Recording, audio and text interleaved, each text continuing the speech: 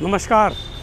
सो so, आज मैं खड़ा हूँ Shri Guru रामबरा institute of medical science के बाहर और हमने कई बार बात की है जो स्टूडेंट हमारे पास आते हैं। अगर मैं पूरे नॉर्थ इंडिया को देख लूँ जम्मू कश्मीर हिमाचल हरियाणा पंजाब राजस्थान यूपी उत्तराखंड इन सब स्टेट्स को हम जोड़ लें। सो डेफिनेटली देखिए टॉप थ्री में कंपटीशन है। Himalayan Jolly Grant M M U Mullana और M G M Jaipur right इन तीनों में से कौन सा नंबर वन है कौन सा नंबर टू है? I would have I would have let's my doubt कह लीजिए या हर एक की अपनी चॉइस हो सकती है।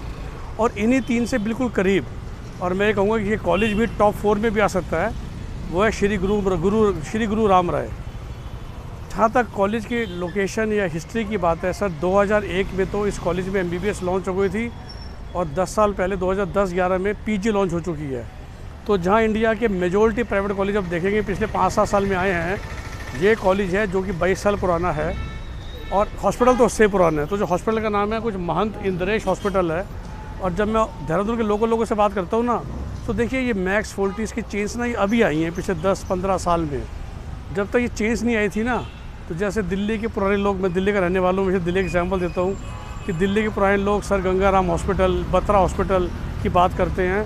तो देहरादून के आप किसी पुराने बंदे से बात पूछोगे ना तो वो बोलेगा कि भाई अगर हमें कोई बड़ी बीमारी होती है तो हम जाएँगे या तो हिमालयन हॉस्पिटल या आएँगे महंत इंद्रेश हॉस्पिटल, जो कि इस कॉलेज के साथ अटैच्ड है। बिल्कुल देहरादून शहर के बीचों बीच है। आप समझते हैं बीचों बीच जैसे गंगाराम हॉस्पिटल दिल्ली में करोल बाग में ना बीचों बीच और लोकेशन मतलब मेरे पीछे आपको कॉलेज का इस तरह एक बाहर का गेट नज़र आ रहा है, और आप एक आइडिया लगा सकते हैं। और हुआ क्या है कि पिछले पाँच साल, सात छः साल पहले ये कॉलेज भी ना पूरी यूनिवर्सिटी बन गई है। तो पहले ये कॉलेज एफिलेटेड था, हेमंती बहुगुणा यूनिवर्सिटी के साथ। अभी अपनी यूनिवर्सिटी है और अब इस कॉलेज ने, इस यूनिवर्सिटी ने नर्सिंग फिजियोथेरेपी और भी बहुत सारे कोर्स खोल दिए तो ये तो वैसे आसपास का अगर मैं लेफ़्ट में या राइट में पाँच पाँच किलोमीटर तो देखूँ तो ऐसा लगता है कि ये यही एरिया है। मतलब इसके आगे आपको कॉलेज ऑफ़ पैरामेडिकल साइंस नज़र आ रहा होगा, वो लेफ़्ट में देखिए ऊँचा सा जो आपको बोर्ड नज़र आ रहा है येलो बिल्डिंग वो कॉलेज ऑफ़ नर्सिंग है। मेरे ठीक पीछे आपको दो एटीएम नज़र आ रहे हैं जो ये मेन मेडिकल कॉलेज है। रोड आपको चलती रोड नज़र आ रही है उससे भी जहाँ मैं खड़ा हूँ, यहाँ से देहरादून का रेलवे स्टेशन तीन किलोमीटर दूर है। बस अड्डा डेढ़ किलोमीटर दूर है। विच मीन्स जैसे मतलब कि देहरादून के लोकल लोगों के लिए फ़ीस इसकी वैसे पहले साल साल कम नज़र आती है, पर इसमें हॉस्टल के लोग ज़्यादा लेते हैं और हर साल इंक्रीमेंट करते हैं, ज़्यादा। और घुमा फिरा के जो उसका पूरा पैकेज है, वो भी 95 लाख का ही पड़ता है। तो मैं हमेशा कहता हूँ कि उत्तराखंड के दोनों कॉलेज जौरी ग्रांट जौरी ग्रांट जो हिमालयन जौली ग्रांट है, एक शुरू गुरु राम दोनों पढ़ते हैं, एक करोड़ के आसपास। लेकिन पूरे नॉर्थ इंडिया में, आप बात समझ रहे हैं पंजाब के आप सारे प्राइवेट कॉलेज देख लीजिए, हरियाणा के देख लीजिए। और अब अमृता फरीदाबाद आ गया है। वो इस साल नया आ रहा है। पर उसके आने से पहले तो ये चार थे जो टॉप थे। Jolly Grant, Shri Guru Ram Rai M M U Mullana और एम जी एम राजस्थान। अब प्रॉब्लम एम जी एम के साथ ये है कि Rajasthan is a semi close state कि राउंड टू तक बाहर का बच्चा नहीं सकता है। तो नॉन राजस्थानी के लिए यही तीन कॉलेज बच जाते हैं। और यही मेरा सपना रहता है, यही मेरी कोशिश रहती है कि मैं अपने स्टूडेंट्स को इन तीन में से कॉलेज दिलाऊँ।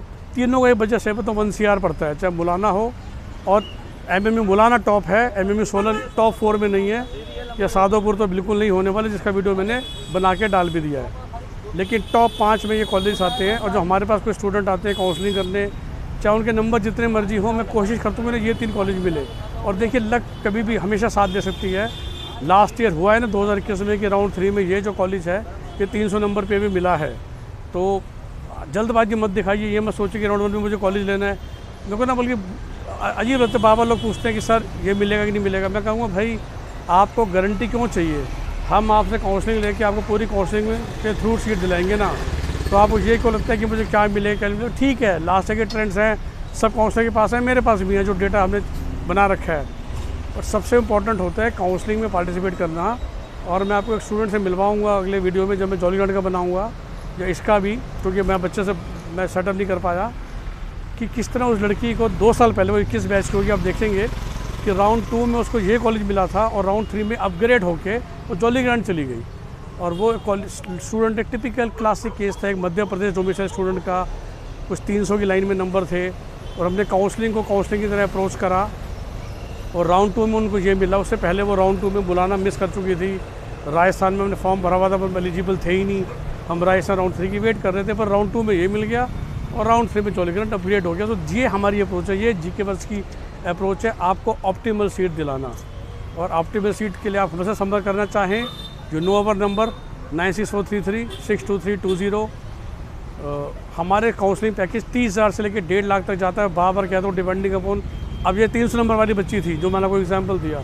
अगर कहती सर, मुझे कोई भी सीट दिला दो और भारतीय विद्यापीठ पुणे डी वाई पाटिल पुणे की महँगी सीट चलेगी तो मैं क्यों डेढ़ लाख रुपये चार्ज करूँगा? मैं सिर्फ़ पचास हज़ार रुपये चार्ज करूँगा, क्योंकि मुझे पता है कि मेरा काम बहुत सिंपल है।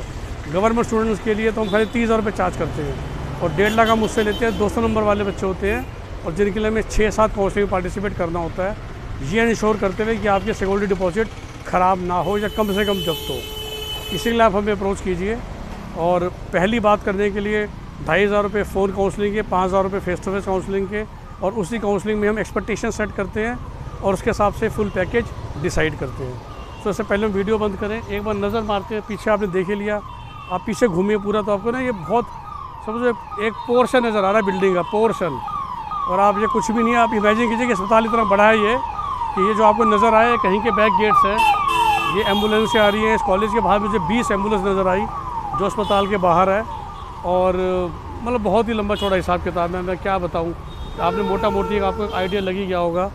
आइए थोड़ी सी और आगे चल के मैं कोशिश करता हूँ जब तक किसी गार्ड को दिक्कत ना हो। और आपको एक आइडिया लगेगा कि जो इसका सेटअप है ना जो इसकी ब्रेथ है वो क्या है? मतलब कोई कमी कोई आ, मुकाबला ही नहीं। मैं क्या तो मैं कह रहा हूँ कि भाई प्राइवेट में तो टॉप फाइव है ही। और वही बात है कि हम पैसे खर्च करना चाहें तो सरकारी के भी कई कॉलेजों से ये बहुत अच्छा है। पीछे फिर से गार्ड खड़े थे इससे पहले वो हमें टोक देते मैं बना कर रहा हूँ। आपका दिन शुभ हो बाय